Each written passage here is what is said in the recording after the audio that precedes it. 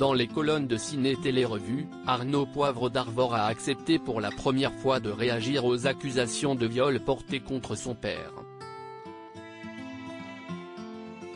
Une vingtaine de femmes ont porté plainte contre Patrick Poivre d'Arvor, l'accusant de viol ou d'agression sexuelle. Un dossier qui n'a cessé de s'alourdir ces derniers mois. Le principal intéressé, toujours présumé innocent des faits qui lui sont reprochés, n'a cessé de nier ces accusations. Pourtant ces victimes présumées ont toutes fait état d'une manière de procéder quasi identique, le présentateur phare du 20h les invitant à assister à son journal, avant de les agresser dans son bureau. Nous ce qu'on attend, si est-il un procès.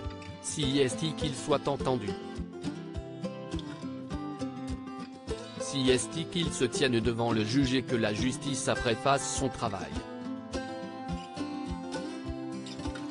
mais il faut aller jusqu'au procès. Un tel comportement, ce n'est pas un délit, ce n'est pas de la drague lourde, si est un crime, avait dénoncé la journaliste et écrivaine Bénédicte Martin sur le plateau de TPMP. Arnaud Poivre d'Arvor sait que sa parole sera inaudible Arnaud Poivre d'Arvor, le fils du célèbre journaliste, a notamment présenté l'émission de faits divers non élucidés diffusée sur RMC Story, qui a permis de résoudre plusieurs affaires criminelles jusque-là restées sans réponse.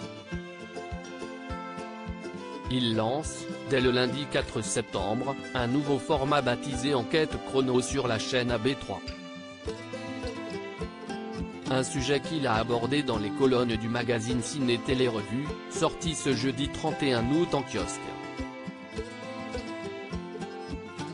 Il a aussi accepté d'évoquer pour la première fois les lourdes accusations qui pèsent contre son père.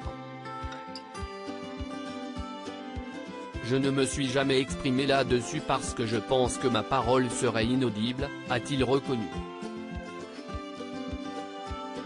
J'ai plein de choses en tête, mais ce serait contre-productif de les exprimer.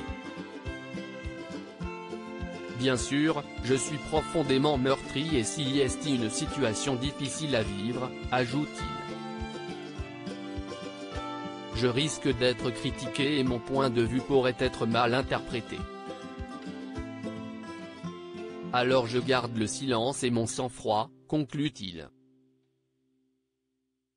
La femme de Patrick Poivre d'Arvor est décédée en juin dernier. En juin dernier, on apprenait la disparition de Véronique Poivre d'Arvor, la femme de Patrick Poivre d'Arvor et la mère d'Arnaud, d'un cancer à l'âge de 81 ans.